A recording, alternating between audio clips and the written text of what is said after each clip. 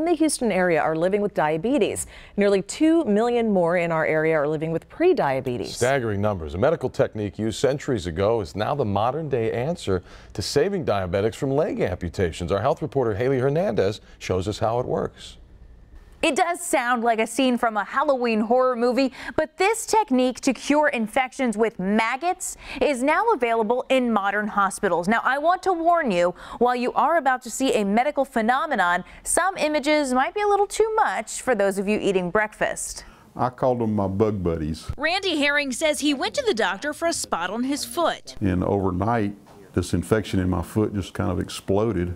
He was suddenly given a choice amputate from below the knee or allow Dr. Nicholas Desai to tape these maggots to the wound. Our goal and our, our, primary objective was to minimize and prevent any removal of his foot more than necessary, and ultimately leaving it in a very clean bed so that it could receive the graft and, and expedite healing.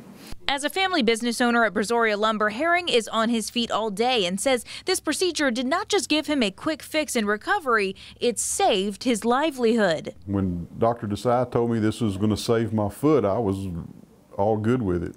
According to Dr. Desai, this procedure is only available at Houston Methodist Sugar Land, but is surging in popularity, which is good since diabetic complications are becoming more common. What this is allowing me to do is allowing me to find new ways to curb an epidemic that's happening. When you have a diabetic foot infection in any of these social stratas or these racial demographics, we're able to attack it much quickly, uh, much more rapidly, and essentially effectively and efficiently. He says the best part of this treatment is that no matter how progressed the infection gets, maggots allow doctors to stop the infection right there instead of typical options, which may have to amputate from higher than the infected point. I know it looks creepy, but Randy and Dr. Desai both insist that the patient cannot feel those crawling insects. As a matter of fact, you see Randy was healed and went back to work in just a few weeks. I'm health reporter Haley Hernandez, KPRC, Channel 2 News. All grossed out or what? Sorry about your breakfast, folks. I did not watch any of that. Well, Haley did warn them to. Yes, there away. was a fair warning. And you have to admit, you know, the trade off, I mean, it's wonderful yes. to see sure. the benefits